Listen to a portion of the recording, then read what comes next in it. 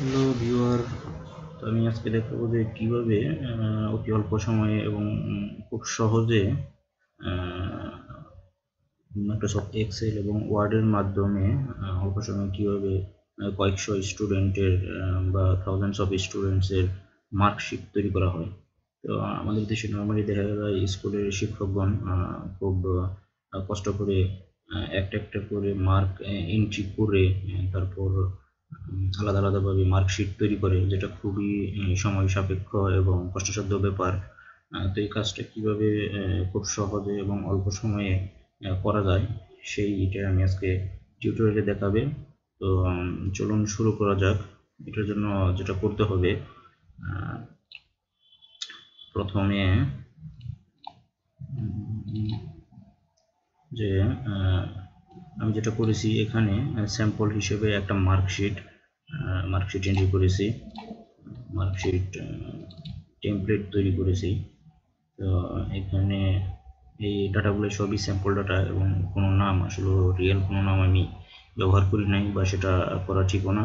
এটা মার্কশিটের একটা স্যাম্পল ক্লাস টেনের সায়েন্স ডিপার্টমেন্টের মডেল টেস্টের রিপোর্টের বা মার্কশিটের একটা স্যাম্পল এখানে আমি তৈরি করেছি এবং এটা সম্পূর্ণ ব্ল্যাঙ্ক একটা স্যাম্পল কোনো মার্ক এখানে এন্ট্রি নাই।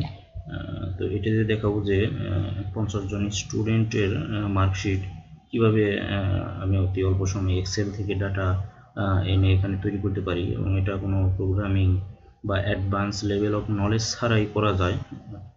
তো এটা আমার স্যাম্পল মার্কশিট এখানে যেটা করা আছে একটা এক্সেল ফাইলে পঞ্চাশ জন স্টুডেন্টের একটা ডাটাবেস সাবজেক্টের মার্ক এন্ট্রি করা আছে। তো নর্মালি যেটা হয় স্কুলের ক্ষেত্রে রেসপেক্টিভ টিচার যেমন বাংলার শিক্ষক, উনি বাংলা শিটে তার মার্কগুলো এন্ট্রি করবে রিটেন মার্ক এমসিকিউ মার্ক তো, এখানে ফর্মুলা বসানো আছে যেটা অটোমেটিক্যালি টোটাল তার লেটার গ্রেড এবং জিপিএটা ক্যালকুলেট করে দিবে। সে শুধু রোল নম্বর ওয়াইজ মার্কগুলাই রিটেন এবং এমসিকিউ এন্ট্রি করে যাবে এবং যে সমস্ত সাবজেক্টের প্র্যাকটিক্যাল আছে, যেমন ফিজিক্স কেমিস্ট্রি তো এখানে ফিজিক্স কেমিস্ট্রির ক্ষেত্রে রিটেন এমসিকিউ এবং প্র্যাকটিক্যাল মার্ক এন্ট্রি করলে এখানে অটোমেটিক্যালি টোটাল চলে আসবে। এরপর তার letter grade GP that means grade point চলে আসবে এবং মেইন যে শিটটা থাকবে যেমন ক্লাস টেন মার্কস নামে একটা শিট আছে। তো আমি এখানে প্রিফিক্স হিসেবে ওয়ান ব্যবহার করেছি যাতে আমার প্রথমে এই শিটটা দেখায়। যার কারণে, তো এইখানে ফর্মুলাগুলো প্রত্যেকটা এর জন্য বসানো আছে যে এই মেইন শিটে এই সমস্ত শিট থেকে অটোমেটিক্যালি মার্ক তার লেটার গ্রেড তার গ্রেড পয়েন্ট চলে আসবে। এখানে আপনারা যদি দেখেন যে formula Bangla exclamation B two that means Bangla শিটের বি টু সেলের মার্ক এখানে চলে আসবে। এখানে থার্টি টু আছে। আমরা যেটা পাচ্ছি এখানে থার্টি টু এরকম প্রত্যেকটা সাবজেক্টের জন্য এখানে ফর্মুলা বসানো আছে এবং ফর্মুলা অনুযায়ী এই সাবজেক্টের মার্কগুলো এখানে চলে আসবে। তো এইখানে যেটা করেছি, এই হেডিং আপনারা একটা জিনিস খেয়াল করবেন করার সময়, যখন আপনি এক্সেল থেকে এমএস ওয়ার্ড বা অন্য কোনো ডাটাবেজে ডাটা ট্রান্সফার করবেন, এরকম চিন্তা ভাবনা করে আপনি এক্সেল ফাইলটা তৈরি করবেন, তখন চেষ্টা করবেন যে হেডিংয়ের মধ্যে কোনো স্পেস কোনো special character like at the rate dollar sign dot এগুলো ব্যবহার না করতে হ্যাশ নর্মালি আপনি সেপারেটর হিসেবে আন্ডার স্কোর ব্যবহার করবেন, যেটা আপনার বুঝতে সুবিধা হবে যখন ইম্পোর্ট করবেন। আমি একটু পরে ইম্পোর্ট করতে যাচ্ছি, সেটা দেখে বুঝতে পারবেন। তো যেটা বলতেছিলাম যে প্রত্যেকটা রেসপেক্টিভ টিচার তার মার্কগুলো এন্ট্রি করে দিবে শুধু এন্ট্রি করলে অটোমেটিক্যালি তার লেটার গ্রেড টোটাল এবং গ্রেড পয়েন্টগুলো চলে আসবে।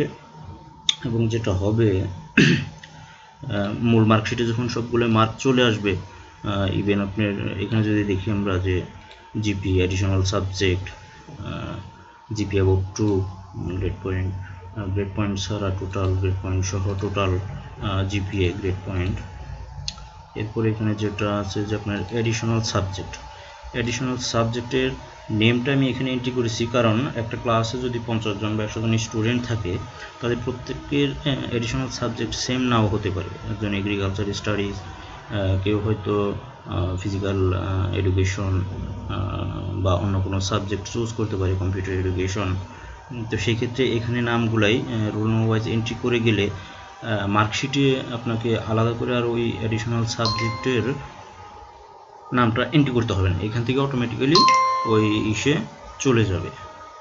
তো চলে গেলে যেটা সুবিধা হবে যে আপনি জাস্ট এখানে শুধু বসিয়ে গেলেন মার্ক এবং নাম, আপনি ওইখানে অটোমেটিক্যালি পেয়ে যাবে আর সুবিধার্থে আমরা যেহেতু এখানে বিভিন্ন ধরনের ফর্মুলা ব্যবহার করেছি, তো ফর্মুলার আউটপুট হিসেবে অনেক সময় দেখা গেছে দশমিকের পরে বেশ কয়েক ঘর চলে আসে। তো আমরা যখন মার্কশিটে এই মার্কগুলো ইনপুট নিব এখান থেকে, তো সেটা আবার দশমিক ভ্যালুর পরে দুই ঘরের বেশি চলে যেতে পারে। যার কারণে আমরা এটাকে, ফাইলটাকে প্রথমে সিএসভি ফাইলে সেভ করে নেব। সিএসভি ফাইলে সেভ করলে যে সুবিধাটা হবে, যে এখানে যে ফর্মুলাগুলো আছে ফর্মুলাগুলো থাকবে না, শুধুমাত্র আপনার ভ্যালুগুলাই সেভ হবে মেন শিট দিয়ে। তো এটা সেভ করার জন্য file save as save as থেকে আমরা সিলেক্ট করব সিএসবি কমা ডিলিমিট ডিলিমিটেড এটা সেভ করলে সেভ ওয়ার্নিং আসলে জাস্ট ওকে সেভ দিয়ে যাবেন। এরপর ফাইলটা ক্লোজ করে দিবেন। এটা অলরেডি সেভ করা আছে, সুতরাং আমাদের সেভ করার দরকার নাই। এখানে দেখবেন এই যে মার্ক ক্লাস টেন একটা সিএসবি ফাইল তৈরি হয়েছে। এখন দেখবেন যে এখানে কোনো ফর্মুলা নেই। শুধুমাত্র ভ্যালুগুলাই আছে। এখানে এখন এই সিএসবি ফাইল থেকে আমরা মার্কশিটটা তৈরি করব। আপনারা সরাসরি এক্সেল ফাইল থেকে তৈরি করতে পারেন, তবে বেস্ট প্র্যাকটিস হলো সিএসবিতে কনভার্ট করে তারপর সেটাকে এন্ট্রি করা। তো এখানে ব্ল্যাঙ্ক মার্কশিটটা আমরা যেটা করতে পারি, একটা কপি করে ব্ল্যাঙ্কটা থাকলেও আমরা কপি ফাইলটাকে ইউজ করতে পারি মার্কশিট স্যাম্পল হিসেবে। মার্কশিট স্যাম্পল সব কাটা দেই, শুধুমাত্র marksheet sample, science class ten. বা ক্লাস টেনটাকে আগে রেখে আমরা সায়েন্সটাকে পরে দিতে পারি। সায়েন্স। এটাকে ওপেন করি। ওপেন করলে যেটা দেখতে পাবো যে আমরা শুধু একটা ব্ল্যাঙ্ক মার্কশিটে একটা স্যাম্পল দেওয়া আছে। তো এইখানে আমি ওই এক্সেল ফাইল থেকে ডাটাগুলি নিয়ে আসব এবং সবচেয়ে মজার ব্যাপার হচ্ছে এটা কোনো প্রকার প্রোগ্রামিং নলেজ ছাড়াই আপনি খুব সহজে করতে পারেন।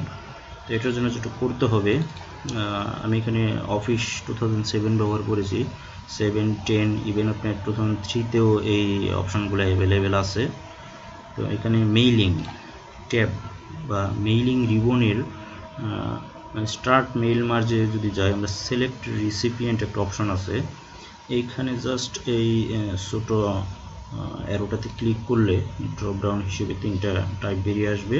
তো এখানে যে use existing list use existing list select করলে আপনাকে ডাটা সোর্স সিলেক্ট করার এখানে অপশন দিবে। তো এখানে ODBC Microsoft SQL Oracle database থেকে আমরা ডাটা আনতে পারি। তো যেহেতু আমরা এস মাইক্রোসফট এক্সেল দিয়ে দেখাচ্ছি, সুতরাং আমি ওই এক্সেল ফাইলটা সিলেক্ট করব। কোথায় আছে আমার? ডকুমেন্টস মার্কশিট প্রিপেয়ার অটোমেটিক্যালি ফোল্ডারের এই সিএসবি ফাইলটা ফাইলটা সিএসবি কিনা বোঝার জন্য আপনি এটাকে এক্সপান্ড করে টাইপটা দেখে নিতে পারেন। কনফার্ম হওয়ার জন্য Microsoft Office Excel comma separated value file CSV just এটাকে যদি ওপেন করি ওপেন হলো।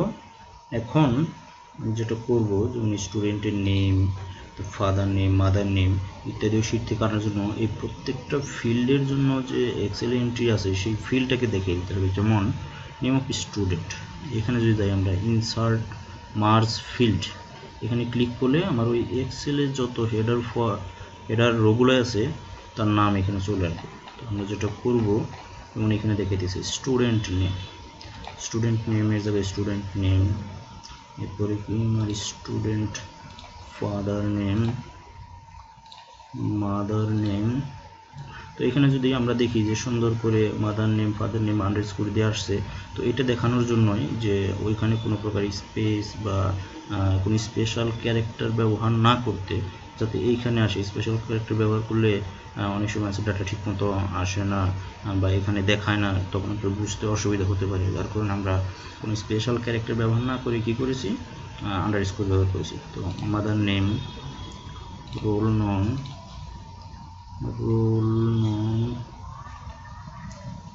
Role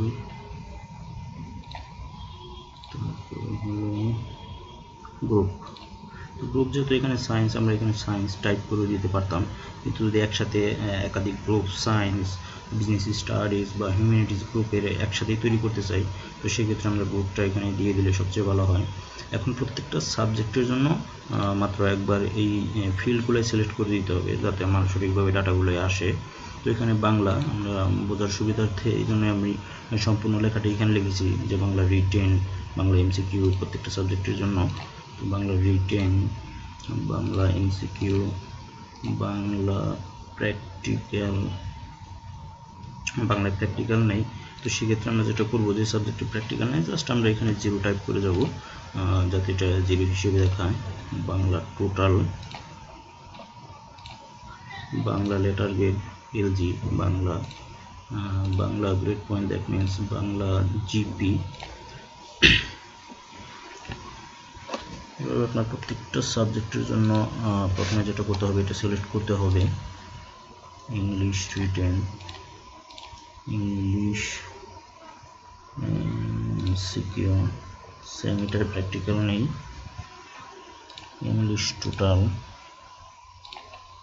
English letter grade English GP তো এখানে যেটা দেখতে পাচ্ছি আমরা রোগুলাই তার হাইটটা ইনক্রিজ হচ্ছে। তো এটা কোনো সমস্যা না, কারণ যখন আমি ডাটাগুলোই পুল করব, তখন শুধুমাত্র ডাটা অনুযায়ী ফিট হবে এবং এক পেজের মধ্যে এগুলো সব চলে আসবে। mathematics. Mathematics written. Mathematics MCQ practical नहीं total mathematics. Total mathematics. Letter grade mathematics GP Rashi. Written. MCQ total letter grade GP এরপর আসতেছে আমার religion Islam religion Islam written religion Islam MCQ practical নেই zero religion, Islam total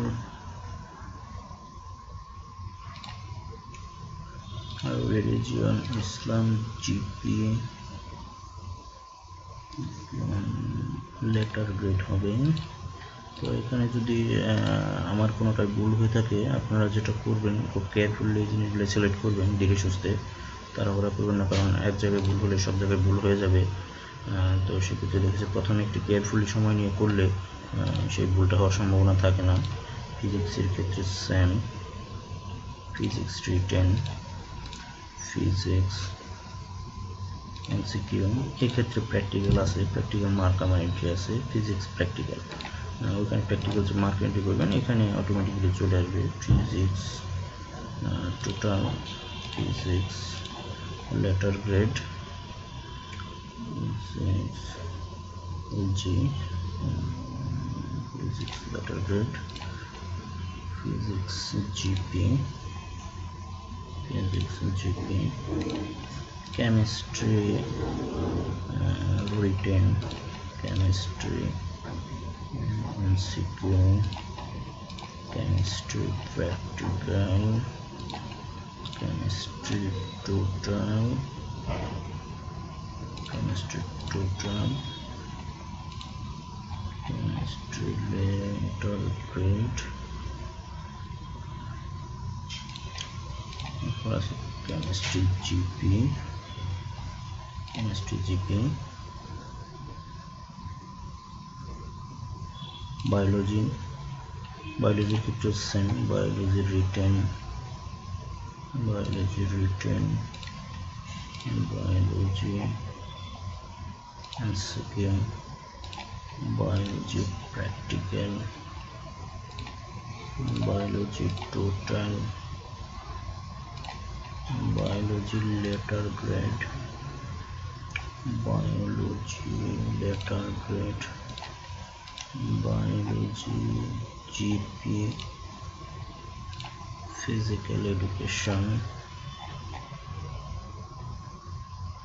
physical education written physical education MCQ physical education এটা practical হবে zero physical education total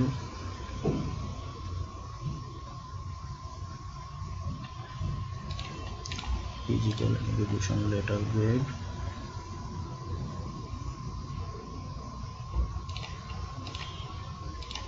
physical education grade point ICT এর ক্ষেত্রে সেম ICT written ICT MCQ ICT practical ICT total ICT letter grade ICT ZP এরপর আছে career education career education career education skill career education total career education total practical মার্কটা zero কারণ কোনো practical নেই career education letter grade career education GP grade point additional সাবজেক্টের ক্ষেত্রে আমরা নামটা এখানে লিখি নাই, কারণ একজন স্টুডেন্টের অ্যাডিশনাল সাবজেক্ট এক একটা হতে পারে। সেই ক্ষেত্রে এক্সেল ফাইলে ওই সাবজেক্টের নামটা এন্ট্রি দিলে ওই স্টুডেন্টের নাম এবং রোলের এগেনস্টে ওই অ্যাডিশনাল সাবজেক্টের নাম এবং তার অন্যান্য মার্ক অটোমেটিক্যালি চলে আসবে। তো এখানে আমরা যেটা একটা ফিল্ড রেখেছি additional subject name additional subset for user written. Additional subject written additional subject MCQ additional subject practical additional subject total additional subject total additional subject letter grade letter grade additional subject grade point, এরপরে যেটা যে GP above two additional সাবজেক্টে দুইয়ের বেশি সে কত পাইছে? সেটা দেখানোর জন্য আমাদের এক্সেল একটা কলম আছে জিপি অ্যাবভ টু এরপরে আমার মেইন যে, এটা grade point GPA grade point without additional subject GPA without additional subject uh, GPA grade point average তো এখানে আমি যে সমস্ত ডাটা এবং যে সমস্ত সবই স্যাম্পল হিসেবে ব্যবহার করছি কোনো ভুল হয়ে থাকলে এলোমেলো আগে পরে হয়ে থাকলে বা কোনো কোনো কনসেপ্টটা এখানে যদি রং মনে হয় আপনারা নিজেরা ঠিক করে নেবেন। আমার মূলত এই টিউটোরিয়ালের উদ্দেশ্য হলো যে কীভাবে এক্সেল থেকে ডাটা এনে স্টুডেন্টদের মার্কশিট তৈরি করা যায় সেটা দেখানো। তো এখানে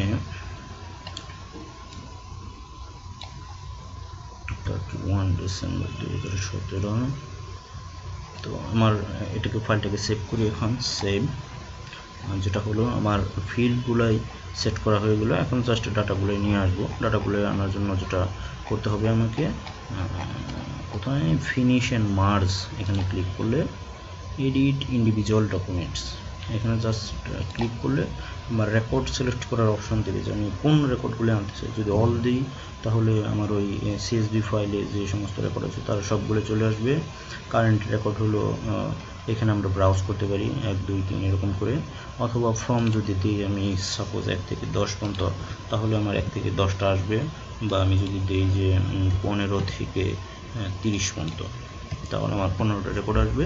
আর জাস্ট অল দিলে আমার সব রেকর্ড চলে আসবে। তো অল দিয়ে আমরা ওকে দিব। ওকে দিলে যেটা দেখতে পাবো, এখানে অনলি আমার দুইটা পেজ আছে। একটা পেজ ওই ইনক্রিজ হয়ে দুইটা হয়েছে। তো দেই, ওকে দেই। জাস্ট ফিউ সেকেন্ড বা সর্বোচ্চ এক থেকে দেড় মিনিট সময় নেবে এটা ডাটা আনতে। এসে গেছে।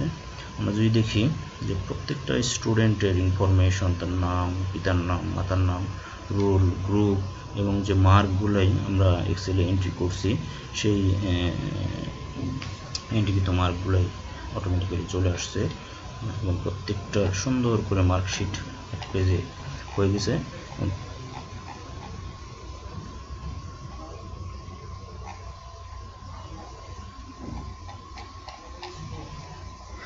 দেখেছে নিচের পেজে চলে আসছে এটা ফরম্যাটিংয়ের জন্য। আমরা জাস্ট এটাকে ক্লোজ করতে পারি। সেভ না করে এটাকে একটু ফরম্যাটিং করে যে নিচের পেজে যেহেতু চলে যায়, এখানে আমরা দুইটা লাইন স্পেস কমিয়ে দিই। এখন আবার নতুন করে এডিট ইন্ডিভিজুয়াল ডকুমেন্ট দিয়ে অল দিলে আমরা যেটা দেখতে পাবো এখন এক পেজে চলে আসছে। তো এটা আমার যে অলমোস্ট যাই নিচের দিকে।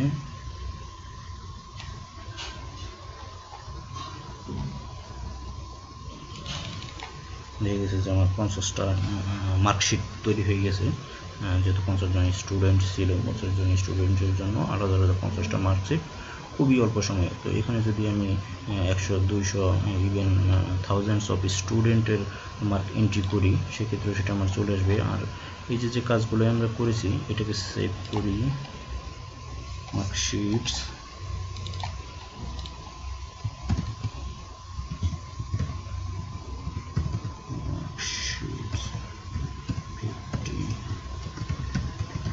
student save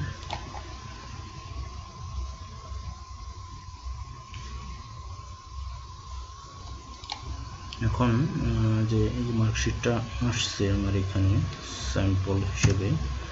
এটাকেও সেভ করে আমরা ক্লোজ করে রাখতে পারি। পরবর্তীতে যেটা হবে, যেমন এটা হলো ফিফটি স্টুডেন্টের মার্কশিট যেটা আমরা তৈরি করলাম, আর এটা হলো তার ওই টেমপ্লেটটা যেটাতে আমরা ফিল্ডগুলো সিলেক্ট করছি। তো পরবর্তীতে যদি এটা ওপেন করি তখন আমাকে প্রম্পট করবে যে আমার যে ডাটা কানেকশনটা ছিল, সেটা কি আমি রাখব না রাখব না। তো ইয়েস দিলে সেমভাবে আমি ওই ফিল্ডগুলাই পেয়ে যাব এবং এখান থেকে জাস্ট আমি মেলিং অপশন থেকে ফিনিশিং এডিটে যদি এখন আবার ইন্ডিভিজুয়াল ডকুমেন্টে ক্লিক করি, তাহলে আমার পঞ্চাশ জন স্টুডেন্টের মার্ক শিট তৈরি হয়ে যাবে। তো এখানে দেখা গেছে যে এটা ক্লোজ করে আমি যদি এই ফাইলটাতে বা এই ফাইলটাতে আরও পঞ্চাশ জনের মার্ক এন্ট্রি করে যেখানে পঞ্চাশ জন স্যাম্পল হিসেবে আছে সাপোজ আমি দুইশো স্টুডেন্টের ডাটা এখানে এন্ট্রি করে সেম সিএসবিতে সেভ করে সেম নামে। আমার যে নামটা আছে, এটা ওপেন করে কি করতে পারি? ইয়েস দিলে এইখান থেকে আমি ওই অপশনটা সিলেক্ট করলেই আরও এডিশনাল যে পঞ্চাশটা ছিল, পঞ্চাশটা সহ টোটাল একশো জন স্টুডেন্টের মার্কশিট তৈরি হয়ে যাবে। এটা দ্বারা যে সুবিধাটা, এই যে আমি এই ফিল্ডগুলাই সিলেক্ট করছি, এই ফিল্ডগুলাই তখন বারবার আর আপনার নতুন ডকুমেন্টে এন্ট্রি করতে হবে না। যার ফলে সুবিধা হবে যে আপনি শুধু একবারে এই টেমপ্লেটটা তৈরি করে রেখে বারবার ওই ডাটাগুলাই চেঞ্জ করে এক ক্লাস থেকে আরেক ক্লাস বা এক ইয়ার থেকে আরেক ইয়ার এক গ্রুপ থেকে আরেক গ্রুপের ডাটা জাস্ট এন্ট্রি করে এই টেমপ্লেট দিয়ে আপনি সহজে মার্কশিটগুলো এন্ট্রি করে তৈরি করে ফেলতে পারবেন। পরবর্তীতে আপনাকে আর এই সিলেক্ট করার জন্য যে সময়টা বা যে শ্রমটা যাচ্ছে সেটা করতে হবে না। তো আশা করি যারা এক্সেল এবং ওয়ার্ডে সামান্যতম বেসিক নলেজ আছে। তারা এই টিউটোরিয়ালটা দেখে এই মার্কশিট এন্ট্রি বা নতুন মার্কশিট তৈরি করতে হয়, কীভাবে সেটা করতে পারবেন। কোনো প্রবলেম হলে আমাকে জানাবেন। আমি আমার ইমেল অ্যাড্রেসে সবসময় অ্যাভেলেবেল আমাকে পাবেন email Aaron twenty four H R at Gmail dot com এই টিউটোরিয়াল বা এক্সেল ও ওয়ার্ডের বিষয়ে হেল্পের প্রয়োজন হলে অবশ্যই আমাকে মেল করবেন। আমি যথাসাধ্য চেষ্টা করব মেলের অ্যান্সার দিতে এবং প্রবলেম সলভ করার জন্য। তো সবাই ভালো থাকবেন। আর আসলে ভিডিও টিউটোরিয়ালে আমি খুব নতুন। ভিডিও টিউটোরিয়াল খুব একটা করি না। নর্মালি আর্টিকেল হিসেবে লিখিত টিউটোরিয়ালই প্রকাশ করি। টেকটিউন্স এবং নিজস্ব ব্লগ আছে ফেসবুকে শেয়ার করি। তো, যার কারণে ভিডিওর হয়তো কোয়ালিটি বা ভয়েস অতটা ভালো না হতে পারে। আমি যেহেতু প্রফেশনালি ইনস্ট্রুমেন্টও ব্যবহার করি নর্মাল একটা হেডফোন আর নর্মাল একটা ল্যাপটপ ব্যবহার করে করেছি, তো সেই ক্ষেত্রে এই হয়তো ক্ষমা সুন্দর দৃষ্টিতে দেখবেন যদি কোনো ভয়েস বা অন্য কোনো কোয়ালিটির কারণে কোনো কিছু বুঝতে না পারেন বা আমার কথায় যদি কোনো ভুলভ্রান্তি হয়ে থাকে, তাহলে অবশ্যই ক্ষমার দৃষ্টিতে দেখবেন। তো ভালো থাকবেন সবাই।